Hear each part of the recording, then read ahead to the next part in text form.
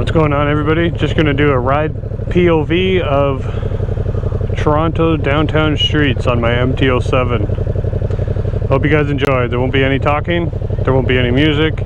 The only cuts I'm gonna do are those between red lights. Hope you guys enjoy.